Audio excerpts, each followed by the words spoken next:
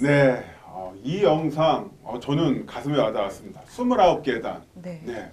어, 왜냐면 저도 시합하다가 그 발가락을 다쳐가지고 목발을 짚고 다닌 적이 있었거든요. 한 음. 3개월 정도. 그러면요. 엘리베이터가 없는 건물에 들어서면은 정말 머리가 하얘져요. 뭘 어떻게 될지 모르겠어요. 음. 근데 이거를 또 어떤 장애인의 시선에서 봤다는 거. 이것 또한 어, 굉장히 남다른 어떤 포인트를 잡으시는 것 같아요. 이게 어떻게 기획을 하신 거죠?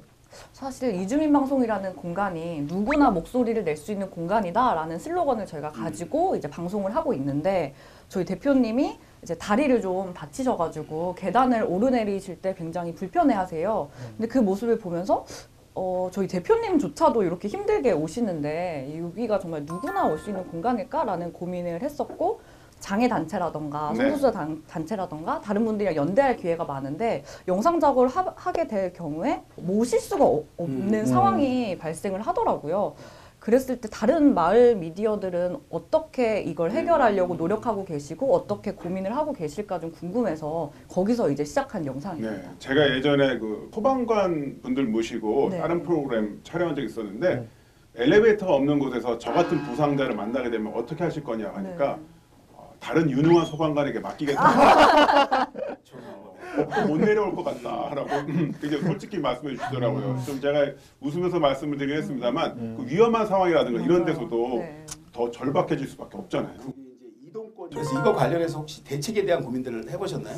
이렇게 됐으면 좋겠다라는 것을 네. 좀 담고 싶어서 사실 부동산도 찾아갔었고 건설 그 전문가분도 찾아뵙고 했는데 얘기를 듣다 보니까는 어, 이게 한 가지의 문제로 해결할 수 있는 것들이 아니더라고요. 음. 이미 이제 지어진 건물들도 있는 것이고 다 마을마다 또 사정도 네, 그렇죠. 다르고 하다 보니까는 그래서 사실 이번 영상을 통해서는 이런 인식 우리가 누구나라고 얘기하지만 사실 그럴 수 없는 공간이다라는 것을 좀 생각하고 뭔가 저희가 컨텐츠를 만들던가 그 일종의 그. 사각지대 예, 보이지 예, 않았던 예. 사각지대를 이제 대소문을 통해서 이제 발굴하는 예, 예, 그렇죠. 어, 바로 그런 부분이 이제 대소문 콘텐츠의 기획 포인트가 될 것 같은데 음. 그런 식으로 이제 계속 고민해야 될 때 필요한 게 어떤 게 있을까요? 제작자 입장에서. 제가 생각했을 때 가장 필요한 건 저는 공감이라고 생각을 합니다. 네. 어, 이웃 커뮤니티에서는 사실 외국인 유학생들이 가지고 있는 생각들이나 그들이 가지고 있는 어려움들에서 좀 그걸 유쾌하게 풀어내보자라는 목적을 저희는 가지고 있는데요. 근데 만약에 저희가 외국인 유학생의 입장이 아니라 그냥 한국인의 입장에서 사실 이야기를 하거나 네. 도움을 준다면 그거는 큰 의미가 없다고 저는 생각을 합니다. 그래서 어, 같이 공감할 수 있는 음. 요소들을 가지고 이야기를 하면 그걸 풀어내면 더 좋겠다라는 게 제가 가지고 있는 생각입니다. 어, 그리고 미디어라고 하는 게 주요한 기능이 이제 우리가 흔히 얘기하는 의제 설정이라고 하는 기능이 있잖아요. 아젠다들을 만들어내고 네. 제작하시면서 어떤 의제를 다뤘는데 이것을 통해서 조금 반향을 일으켰다 이런 것들의 사례가 있으면 좀 들어보고 싶습니다. 예. 많이 알려진 게 그때 예전에 강서구에 특수학교 설립 예, 문제가 예, 예. 있었어요. 그때 뭐 방송에도 나왔지만 무릎을 꿇은 학부모분들이 그렇죠. 있었잖아요. 예.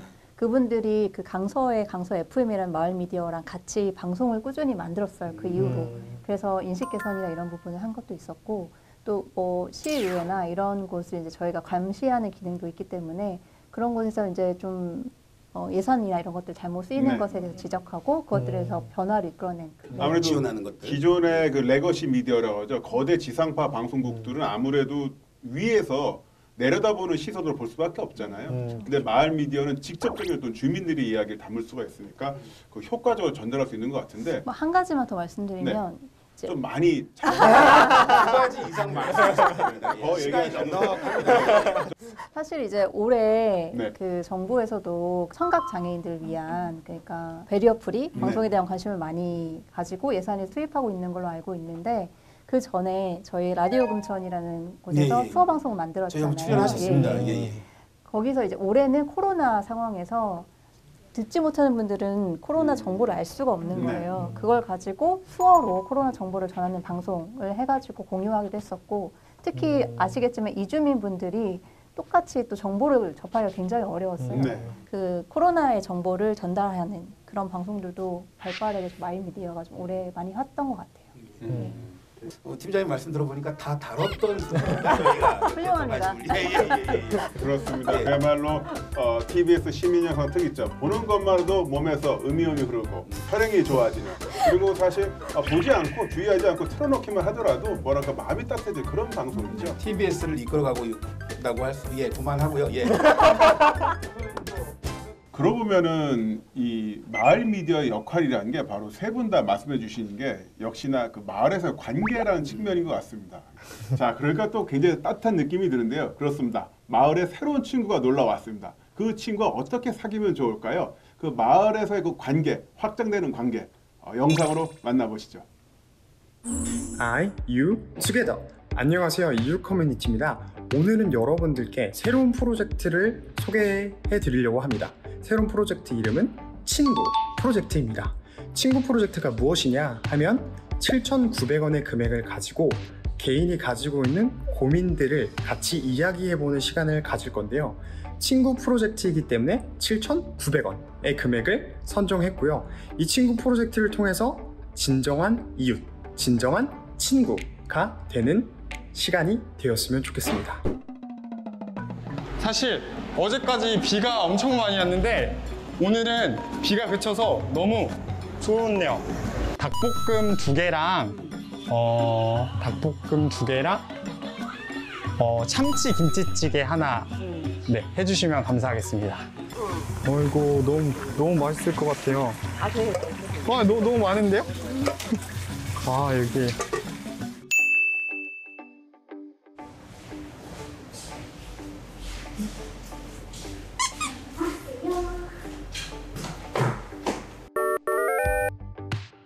오늘은 심리학의 이해라는 수업을 듣고 정신이 좀 나가는 상태로 이 자리에 왔습니다.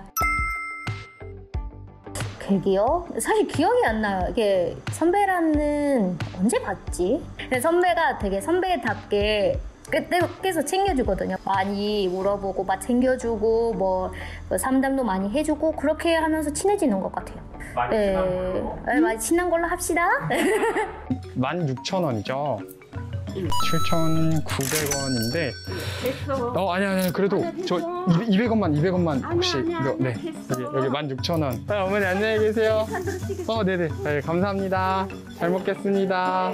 안녕히 계세요. 어, 저희가 이제 음식을 준비를 해서 저희가 특별 손님에게 이 음식을 한번 대접해 보도록 하겠습니다.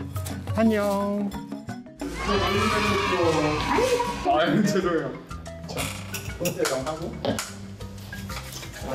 여기 메뉴들을 간단하게 좀 소개를 해주면 좋을 것 같아요. 에스더가 사실 가장 좋아하는 메뉴를 선정을 했습니다. 닭볶음탕이랑 참치찌개를 가지고 저희가 네, 같이 밥을 먹으면서 좀 진행을 해보려고 합니다. 네, 잘 먹겠습니다. 먹겠습니다. 네. 이거 그릇 어디서 가져왔는 줄 알아요? 저희 집에서 가져왔어요. 도생이 많네요. 이게 먹으면서 말을 하는데 쉽지가 않네요. 저 아무렇지도 않은데 선배가 어색하네요. 요즘도 영상 많이 봐요? 네. 유튜브 영상? 하다방이라고 있어요. 하고 싶은 거 다 하라고. 음 어, 그런 반이 있는데 하다방 와 저보다 한국말을 잘하는 것 같아요 에스더 유튜브 덕분 아 B2B 덕분 근데 이창섭은 언제부터 좋아했어요? 한국에 처음 왔을 때는 친구들이랑 같이 있어서 그때 뭐 그렇게 친구들은 잘 지내는데 서울에 와가지고 좀 아예 혼자가 되거든요. 뭐 할 게 없어요. 누구 만날 수도 없고 잘 되는 게 와이파이밖에 없어요. 그래서 제 친구죠 와이파이가. 그래서 와이파이로 그냥 재미있는 거 찾아봤거든요.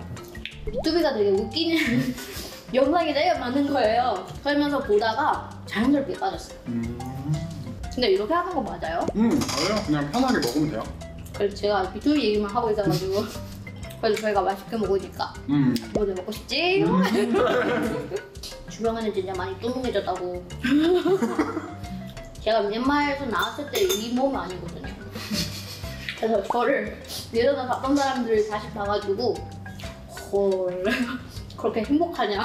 저도 살 많이 쪘거든요 사실 최근에 코로나 때문에 운동도 못하고 하니까 왜 코로나를 아 헬스장 못왜 가니까 코로나를 아, 핑계하죠 코로나를 핑계로 헬스장을 안 가고 운동을 안 하니까 옆에서 찌적거리고 맞아요 저도 사실은 제가 지키면 되는 건데 안 지키니까. 네요. 네, 밥 맛있게 먹었나요? 맛있어? 네 먹었습니다. 왜 이렇게 갑자기 어색해졌어요? 아까 전에 되게 또 얘기. 아 그냥 선배가 너무 평소 같지 않아요. 그냥 오빠인데 좀 반말하세요. 아, 반말을, 반말을. 그렇게 그쵸. 뭐 존댓말 안 하는데 아니, 평소에도 제가 존댓말을 아니요 안 했었거든요. 가끔 제가. 아니요 안 해요. 아, 어, 네, 아, 그렇죠. 그러면 에스더에게 가족이란 어떤 의미예요? 모든 거죠 사실은. 사실은 끈끈하면서도 조금은 조금은 뭐라고 모르겠어요 그냥 표현하기가 되게 어려워요 저한테 가족이라는 자체가. 다들 그렇지 않아요? 어, 아까 에스더랑 같이 밥 먹는데도 뭐 되게 가족이랑 뭔가 여동생이 밥 먹는 느낌이 들어가지고 어, 저도 그 느낌을 안, 느껴, 안 느꼈는데. 아, 아니야 선배한테는 되게 선배 이미지가 강하잖아요. 맞아요. 선배가 지금 보면은 항상 미스타야 이렇게 하면서 가르치려고 하시잖아요. 제가 선배가 이렇게 놀려하는 부분이 있어요. 네. 근데 내 선배처럼 그게 되게 강하거든요 저한테. 그래서 꼰대 꼰대 꼰대 꼰대 꼰대 아시는데 제가 이거 저 못하겠습니다 어, 아, 우리 가족이랑 친구 프로젝트는 지금 꼰대 나오면 어떻게 해요? 아 이렇게 하면서. 어, 말까지 들으세요. 아, 네. 어, 네, 아 그렇죠. 오늘은 네 이렇게 또 얘기해보고 또 다음에 또 같이 또 해보면 좋겠습니다. 다 같이? 아 네. 하나 하나 둘 셋. Are you together? 네 감사합니다